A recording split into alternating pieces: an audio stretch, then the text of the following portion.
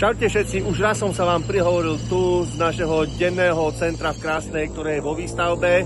Bude to obrovský komplex, ja som urobil aj nejaké rýchlovky znútra, verím, že budú použiteľné.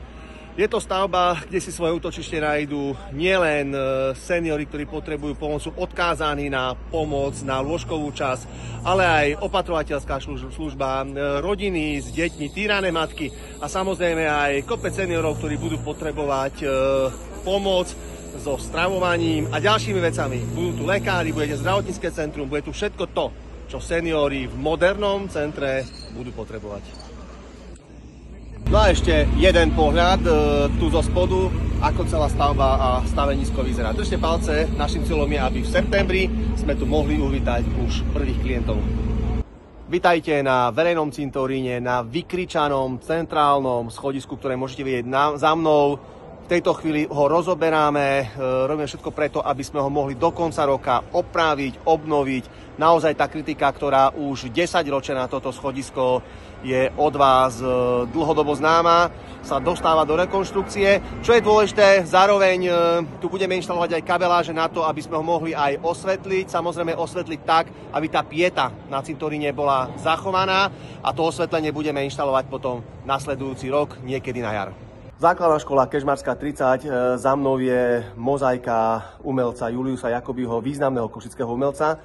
Pred e, niekoľkými rokmi bývalé vedenie túto mozaiku úplne zničilo zateplovacím systémom. Pri zateplovaní školy nemyslelo na umelecké diela.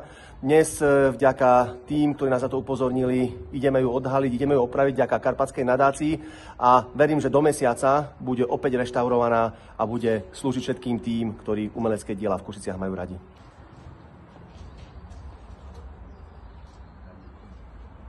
Po Novej diálnici e, sa dostávame do Miškolca. Pozval som sem dnes aj starostov a poslancov e, mesta, aby som im ukázal túto novú halu DVTK Multihalu, kde na jednom mieste môže niekoľko tréningových procesov predbiehať naraz, e, rôzne športy, rôzne loptové hry.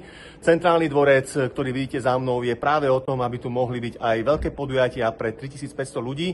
My v tejto chvíli máme záujem takúto halu postaviť, preto sme sa tu aj stretli a chceli sme vidieť na vlastné oči, ako sa takéto haly robia. My dnes pracujeme na tom, aby sme mohli vôbec kúpiť eh, pozemok, pretože v meste Košice je všetko rozkradnuté a nemáme dosť pozemkov. Verím, že poslanci rozhodnú o tom, aby sme kúpili pozemok pre takúto parádu, mohli začať stavať, budovať a konečne opäť šport posunúť ešte ďalej. Uh!